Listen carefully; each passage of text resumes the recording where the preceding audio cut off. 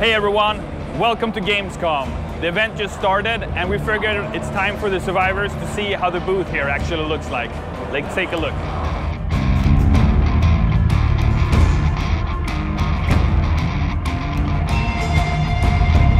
Here we are at the start of the line to our booth here at Gamescom for Overkill's The Walking Dead. Let's have a walk around and see how long it is.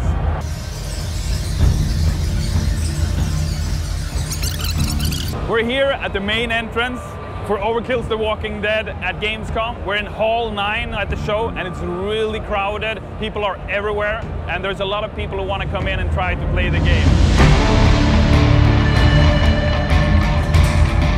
People are busy, they're playing a new level for the very first time. We've got 36 stations, so we can fit in a lot of survivors here. If you are at Gamescom, make sure you drop by our booth, but get here early. The line is really, really long. Take it easy and see you in Overkill's The Walking Dead.